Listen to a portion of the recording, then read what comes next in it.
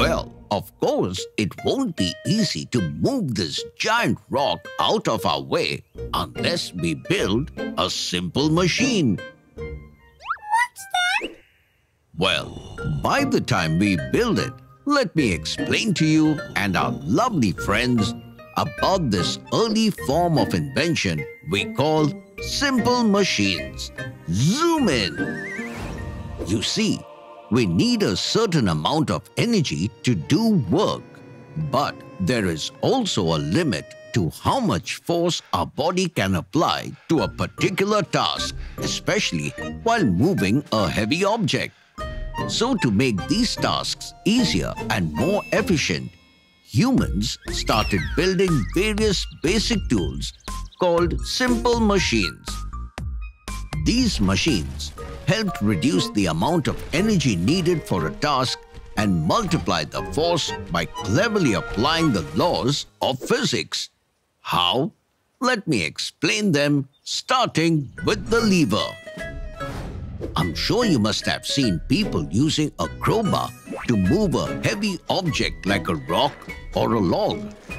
The end of the crowbar is placed underneath the object, called the load whereas some part of it is made to rest on another piece of stone or wood around which it moves, which acts as a fulcrum. Then the free end, also known as the effort arm, is pressed to lift the heavy object. Such levers are called first-class levers, where the fulcrum is kept between the heavy object and the effort. Pliers and scissors are also good examples of first-class levers.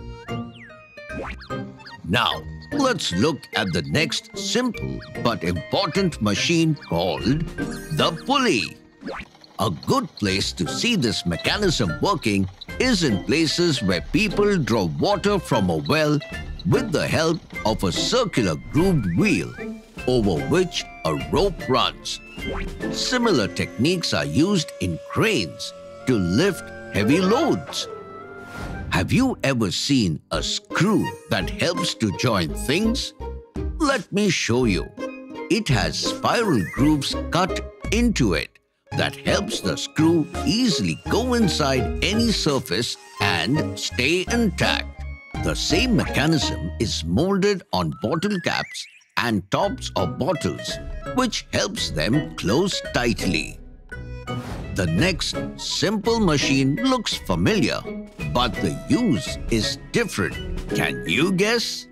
Okay, got you covered, my friends. Inclined planes that consists of sloping surfaces, usually a ramp set at an angle against a horizontal surface for raising heavy objects. You must have seen cars being loaded onto trucks using this method. Next, let's look at the wedges, which are objects consisting of two inclined planes made of metal or wood arranged back to back to be used for cutting, lifting or tightening. Knife, axe, chisels and hammers are good examples of wedges or simple machines that have existed since prehistoric times. And lastly, let's look at one of the most important simple machines and that is the wheel and axle. They are made up of a circular frame which is the wheel that revolves on a shaft or rod also called the axle. In its earliest form, it was probably used for raising weights or water buckets from wells. But as time progressed, this invention revolutionized the world. And today, we see them used right from the sewing machine to cars and even airplanes. Trivia time! Did you know that the first time the idea of simple machines was recognized around the 3rd century BC by Archimedes, the Greek philosopher?